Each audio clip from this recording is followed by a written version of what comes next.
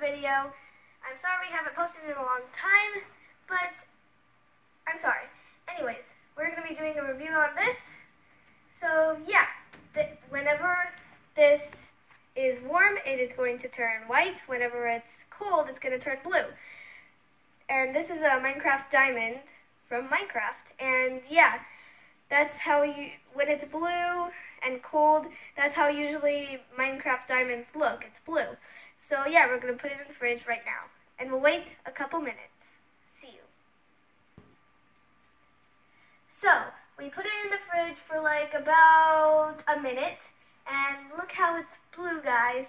Anyways, this is part two. Last time we did it, we showed you how to use that free 3D printer right there. And yeah, anyways, this is how it's blue. It looks really cool and it's pixelized and it's really cool because it's color changing. And when it's like warm, you could also run it over cold or hot water, whatever you want to do with it.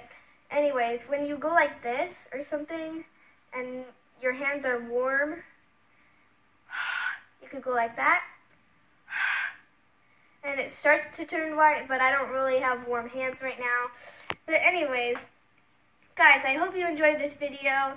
If you want to see a part 3 of this, make sure to like, subscribe, and share this video.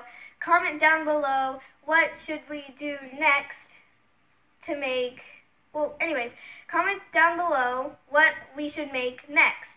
Whoever has the most votes on it, then that's what we're going to make. So, yeah, I'll see you guys later. Bye.